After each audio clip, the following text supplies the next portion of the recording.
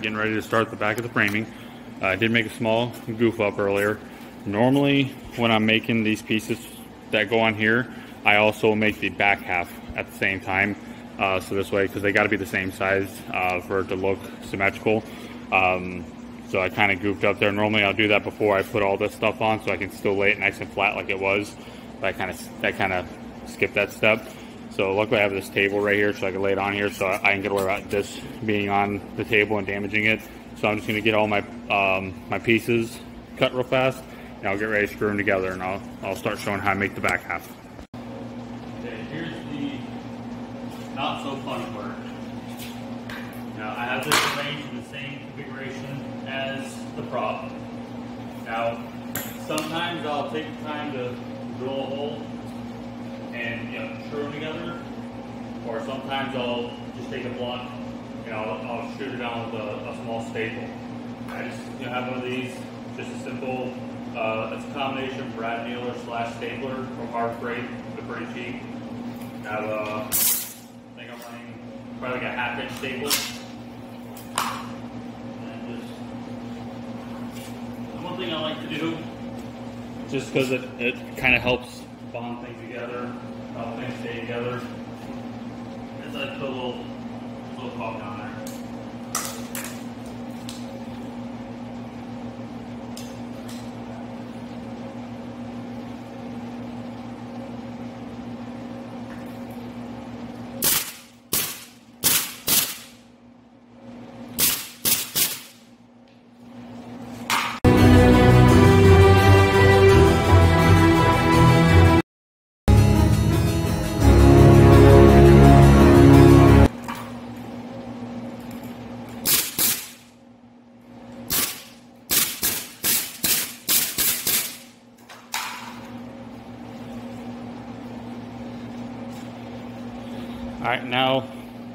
That's all together. I don't worry about the ends hanging off because I'm just going to take a saw. I'm just going to cut those off flush. And once I cut those off, then I'll start doing the next part. All right, now for the next part, what I do is I take a, a 2x4 and I just cut them into essentially these little 45 degree wedges. What I do is uh, obviously on the side that's attached to the thing, you have to go from the top side. So I just pre-drill, screw it down, you know, like everything else. I put a little caulking underneath of them just so when the caulking dries, just that extra, you know, barrier just to kind of help bond everything together. And then what I do is uh, I've already measured this out. I said I want mine to be two foot deep, so uh, it's going to be from from this point back is is two feet.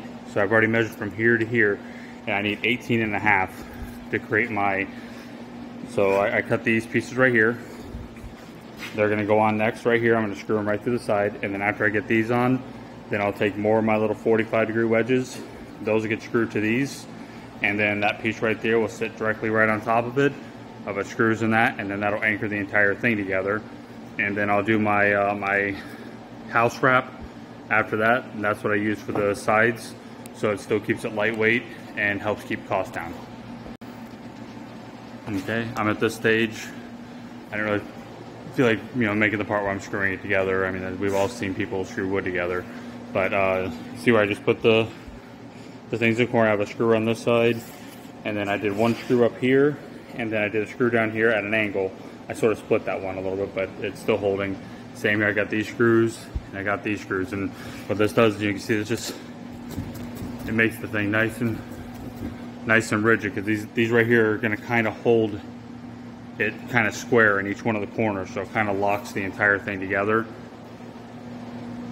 And I put a brace in the middle and then I got the three on the top. The next step is to do the essentially the roof and the wrap part. I'm going to show you what I use for that. Now what I use for my sides and all that is this house wrap I found. And I kind of like it because it does have kind of like a block work kind of look on it. Um, but the problem with that, like on some of the other props I had to do, is you have to do it sideways. Obviously, so it has to go this way. So since this prop is, you know, to my size is about four feet, but I have to have an overlap, it's probably going to go from the bottom and stop at a certain point right here, and I have to overlap it again. But I'm kind of going with the, you know, like the smooth look on this. So I'm literally just going to take this and just go literally right over the top and right down the other side, staple it uh, onto the thing. I'm gonna let it come all the way out to this point here. I'm gonna put a little bead of caulk right here so this way I can hide this edge so it cleans all this up. And then once, once that's all dry, then I'll be ready to uh, paint the prop. And at that point, it will pretty much be about complete. Okay, um, at this point right here, you see where I just took that house wrap, I just wrapped it completely around the whole thing, stapled it on. I'm gonna I'm gonna put more staples in it right now. Just you know, just got it. You know, mainly just the corners. Now, what I did with mine last year to help keep like the uh, wind and rain from knocking them over is I took some little eye, eye bolts. Know, I just screwed them into these upper ones right here. I got one of those uh, little augers that you see for dog leashes. I just ran it in the ground right in the middle and I just took some of that nylon string and just made like a V where I tied it to the loop, went down here and came back up, tied it nice and tight. And that actually kept it where even when we had some pretty good windstorms, I didn't have to worry about them blowing over. And then, uh, you know, this is a, this house wrap is, you know, meant for, you know, to help keep water off, you know, the wood framing of a house before they do the siding. So it'll help keep the inside of that dry.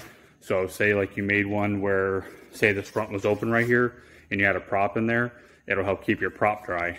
You know, and if you take some more of that house wrap, you can always make a, you know, a flap for the back where you can just make a piece that, you know, goes on here.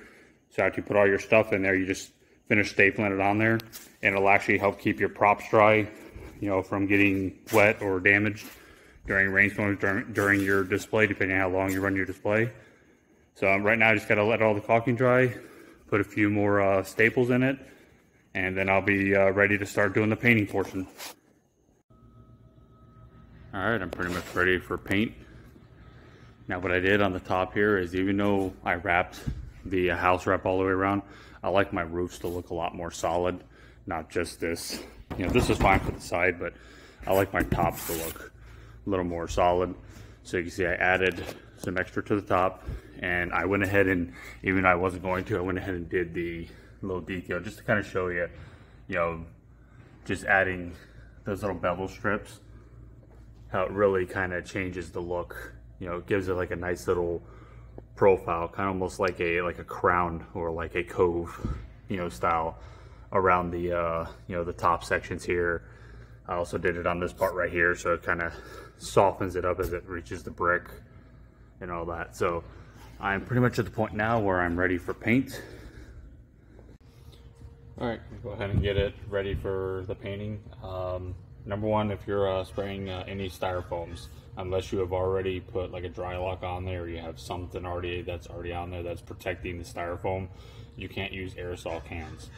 The thinners that are in aerosol cans will melt your styrofoam and it'll it'll mess up your finish. I mean, depending on the finish you're looking for. Um, so you always want to use regular latex house paints. It can be indoor, outdoor. That doesn't really matter. Uh, what I use to paint mine is I use these uh, you know cheap spray guns. You get them right over Harbor Freight. Uh, the reason I like them is you can uh, spray these with a pancake uh, air compressor. You can paint them with a large air compressor. Doesn't matter. The other thing I like about them is you can actually, you know, you can feather the, your trigger.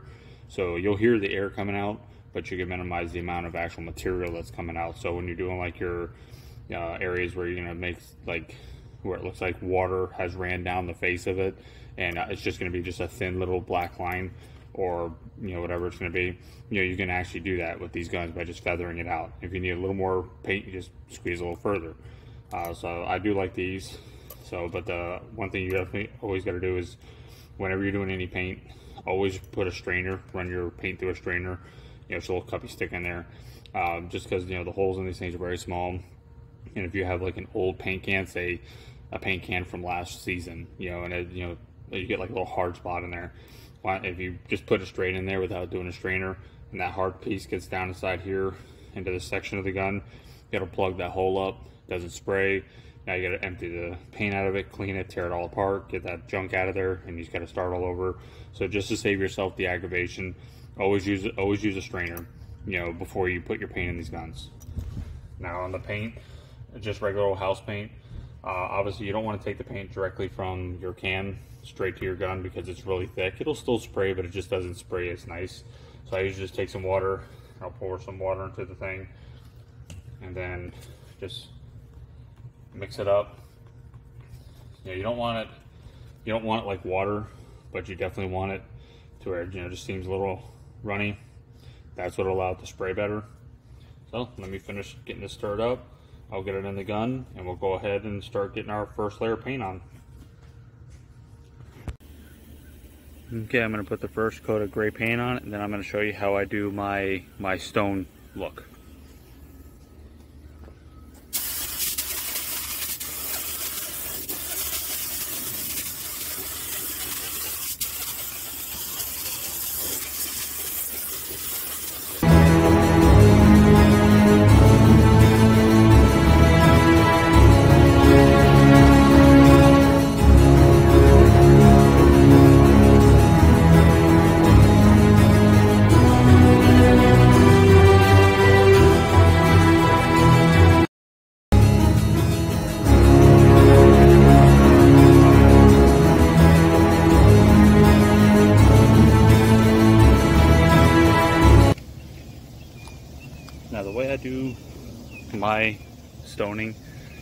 Is um, a lot of people use the Drylok, but that gets pretty expensive when you're building a lot of props. If you're only building one, it's great, but like if I'm building multiples, what I do is I'll either take like a mortar mix for tile or like the grout for tile.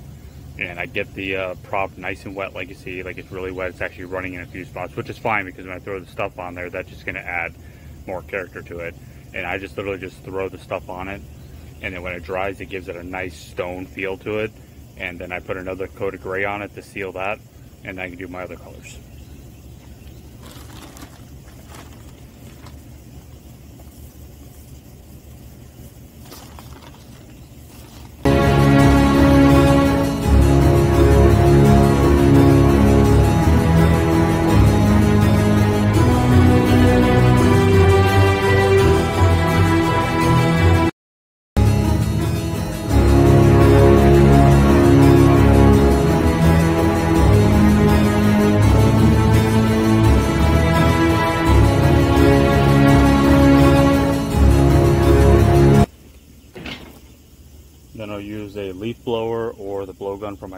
Compressor to blow off any of the excess. Uh, you know, try not to get it, you know, blow too much off. And then there'll be a second coat of the paint on it.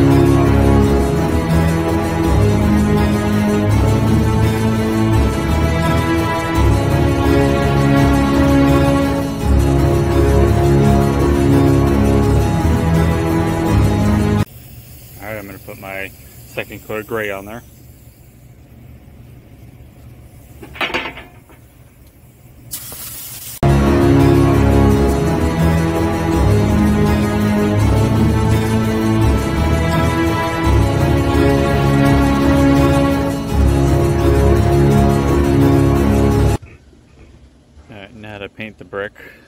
Now you'll notice that when I painted it, you know, I painted the whole thing with the gray. The reason I do that is because, you know, on normal brick, you know, inside the joints you have your mortar, and your mortar is usually a gray color anyways. So to sit there and paint all the brick first, and then try to paint all your lines after the fact is a lot harder than if you just paint everything first. Now you can paint it two ways. You can use a brush, or you can use a roller, you just roll it. Because really all you're doing is painting just the high, the high points. Uh, but I kind of like to use a brush because it allows areas like in between, like these little divots and stuff like that, to maybe keep a little bit of like just a gray color. You know, and now most, you know, a lot of bricks, some have yeah, a lot of inconsistency, especially the old bricks. Some of them were very, you know, very consistent in their color. Some of them might have had, you know, little inconsistencies in the color depending on how they were done. So I like to use just a regular brush and just kind of just go right over the top of them.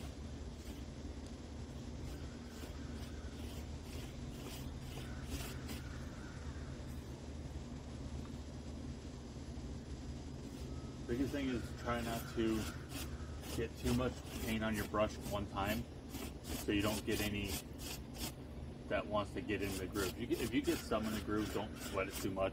What little bit you're gonna get in there is not gonna like make a huge deal.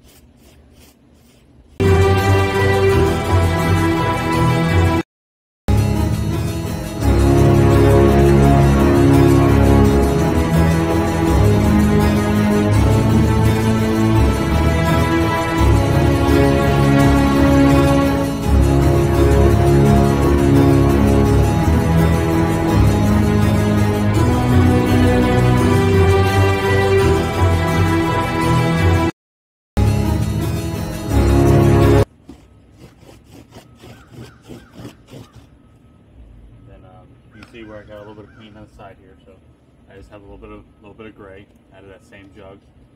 I got this stuff from. I just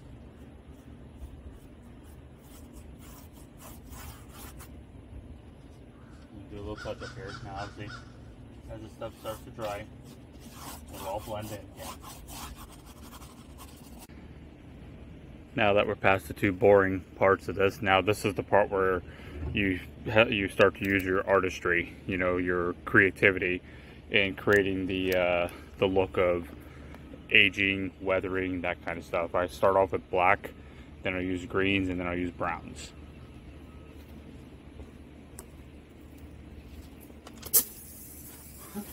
One thing I was talking about was, you know, I could feather my uh, trigger. I I want to make like a water run right here. I'm gonna adjust my press a little bit.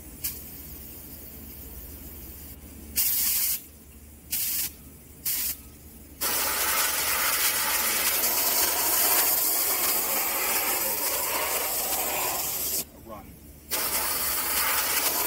I want to make sure this top is covered.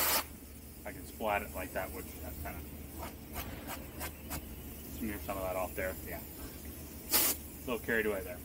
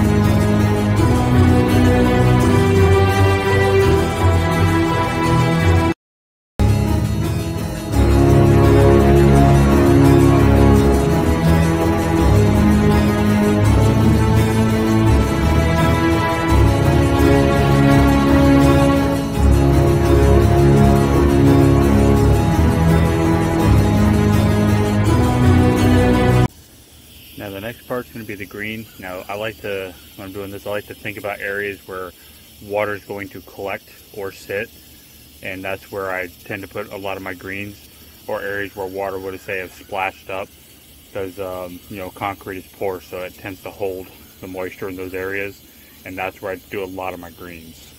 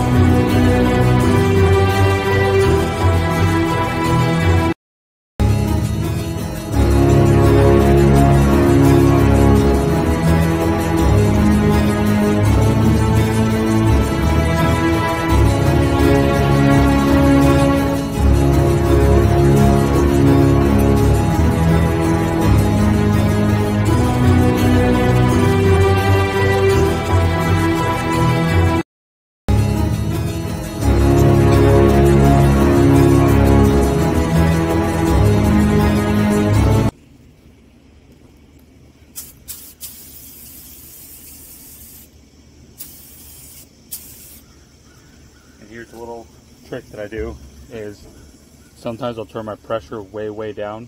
So when I'm actually, and then I open my fan up and when I'm spraying it, it won't atomize as much and it almost kind of like spits the uh, paint out, which gives you like little areas of like, maybe like little concentrated spots. After I do a little bit, I'll, I'll get a close up and show you what I mean.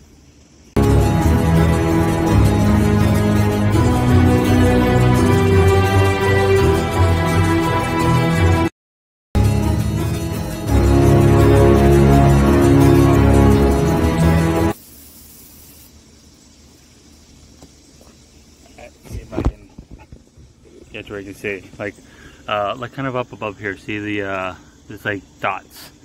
You know, instead of it being just like a nice paint, there's it's it gives it areas of more of a concentrated. Gonna get a little more. There we go.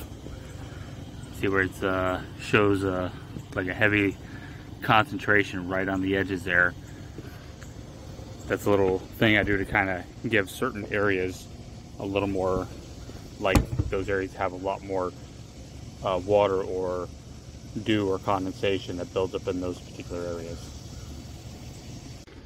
All right, the last part is the brown. The brown is what kind of gives it the look of like where, like the dirt, you know, and, you know, maybe pollen and stuff like that might have collected. And it, you know, like if you look at something that's old, it always has like a rusty, dirty kind of thing on certain edges. Now I'm out of brown in my regular latex paint, but since I have so much paint on this already now, that using a spray can is not going to hurt it because all the foam is now protected. So I'm going to end up using a spray can. I'm just going to use just a um, a Rust-Oleum, just a like a brown primer, which looks pretty good for this.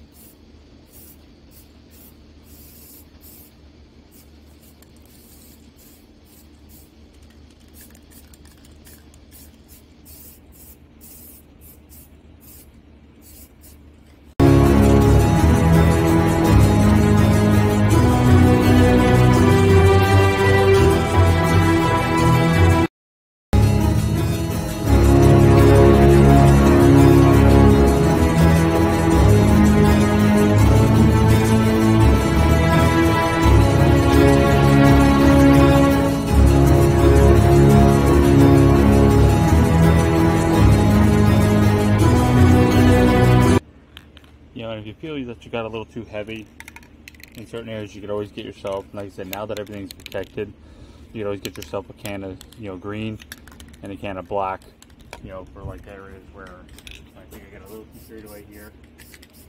You just lighten it up a little bit.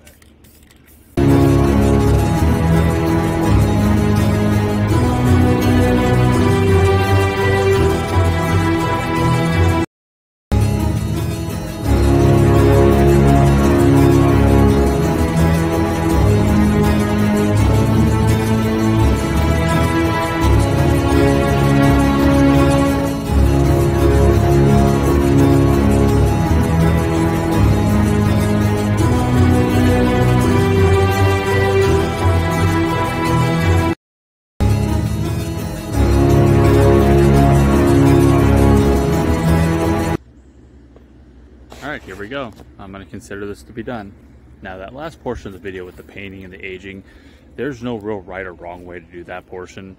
Uh, it's more or less entirely up to what's going to look best for you, what uh, what you're going for, what your actual uh, theme is for your display. If it's you know an old style cemetery or a much newer style cemetery, so that's that's you know it's entirely what's going to look best to you on how you're going to want to do your painting. I like to make everything look a little more on the old rustic side, you know, so I kind of go tend to go this route more.